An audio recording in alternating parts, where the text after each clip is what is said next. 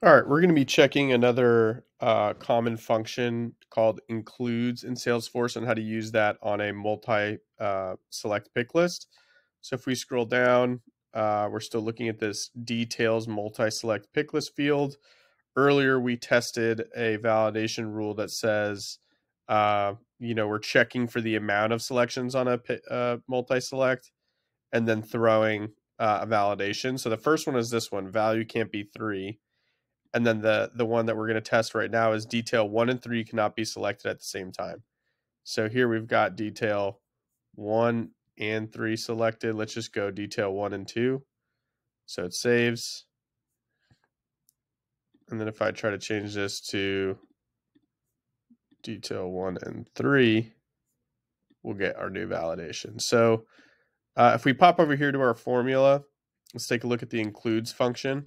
So uh, I'm saying that within this pick list, multi-select pick list field of traits, uh, I can't include detail one and detail three in the same uh, pick list uh, or uh, selection. Now, if I come down here and go to includes, let's go ahead and just read this definition.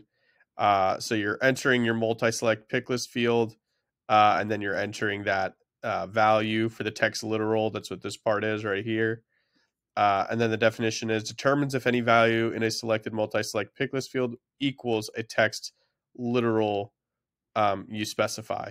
So if the value is detail one and detail three in the same selection, detail one and three cannot be selected at the same time.